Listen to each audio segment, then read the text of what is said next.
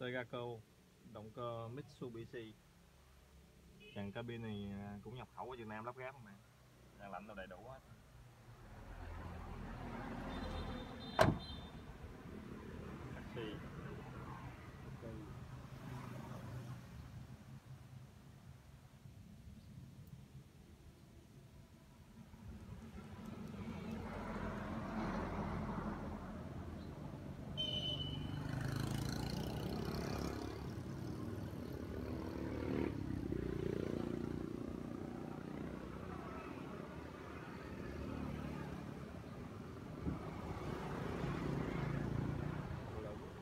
Mình có hai màu trắng và màu bạc.